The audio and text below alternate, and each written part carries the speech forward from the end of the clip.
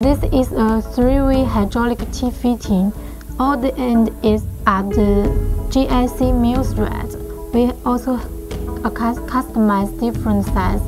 If you need this fitting, please contact us.